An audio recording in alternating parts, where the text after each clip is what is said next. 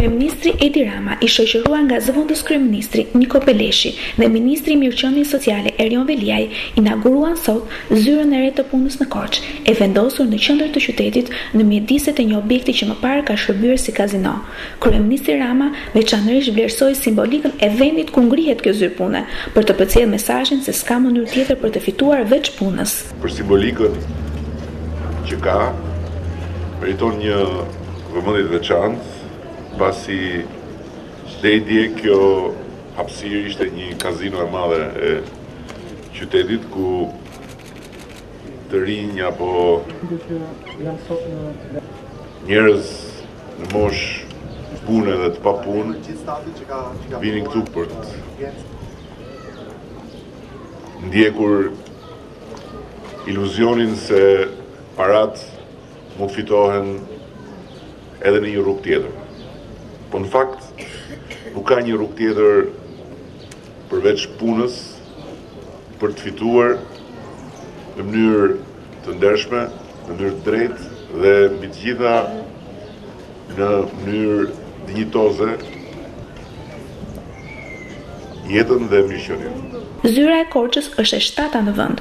Kryeministri e vuri theksin tek forcimi i rolit të zyrave të punës si ura lidhjeje mes punëdhënësve dhe punëkërkuesve. Ndërsa rezultatet mbresëlënëse të gjashtë zyrave të para të punësimit flasin për një interes në rritje të kompanive dhe punëkërkuesve që i drejtohen atyre. Në fakt, ne nuk po hapim disa dyer zyrash, por po vendosim gurë themeli në një ngrehinë të madhe të shërbimit kombëtar të punësimit.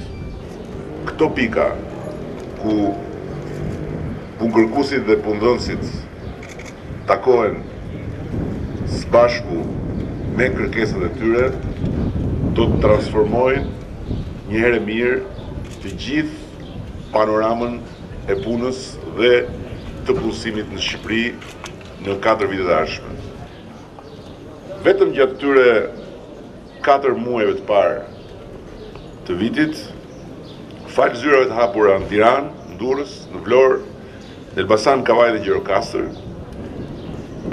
janë afishuar afro 5.000 vende të lira pune, dhe sot aktualisht kemi afro 5.000 vende të lira pune në këto 6 zyra. Synimi ynë, tha kryeministri, është të sigurojmë punësimin real.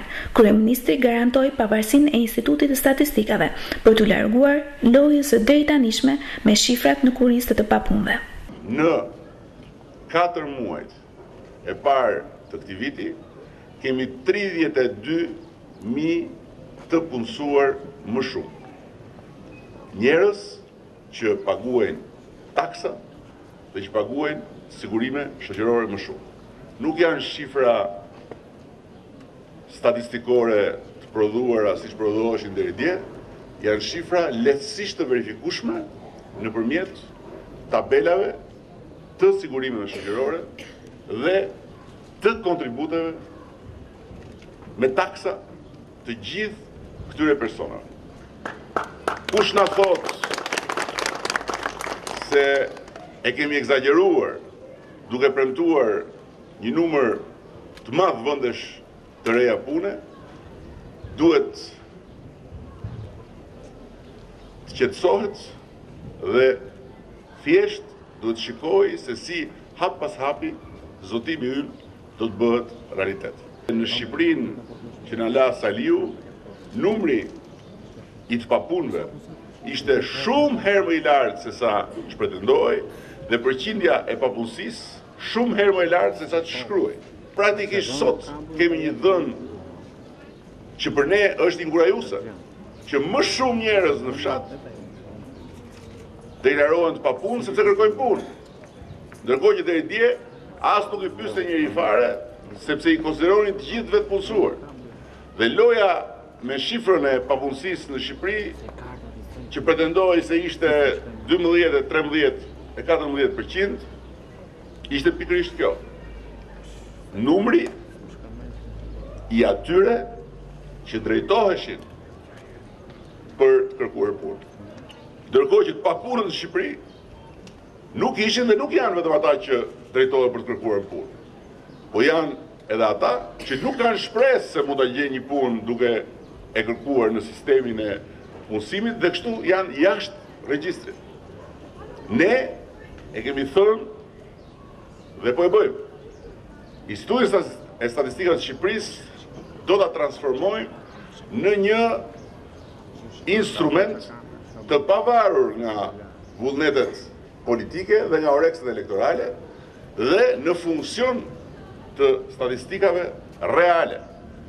Dhe unë dua që të gjithë të kuptojnë një gjë, nëse do të ishte sot përsëri ne e kemi thënë Dhe po e bëjmë.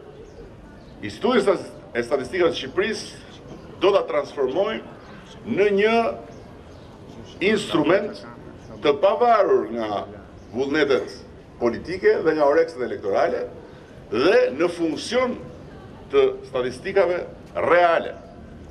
Dhe unë Dua që të gjithë të kuptojnë një gjë, nëse do të ishte sot përsëri qeveria që ishte deri dje, shifra nuk do kishte ndryshuar, madje mund të ishte përmirësuar me dorë në zyrë nga ana e Institutit të Statistikave. Ndërkohë që sot shifra është më pranë realitetit, sepse Instituti i Statistikave Nuk pyet qeverinë dhe nuk merr miratimin në zyrën e kryeministrit për të publikuar apo mos publikuar një shifër që mund t'i pëlqejë apo mund të mos i pëlqejë kryeministrit. Zyra të standardit europian, që rrëzojnë muret mes sporteleve të shtetit dhe qytetarëve, e quajti edhe zëvendëskryeministri Peleshi rrjetin e zyrave të punësimit që po ngrihen në të gjithë vendin. Me këtë seri zyrash pune, Të një standardi absolutisht europian. Të gjitha janë të mundshme dhe natyrisht kësaj strategjie do t'i vijë në ndihmë teknologjia.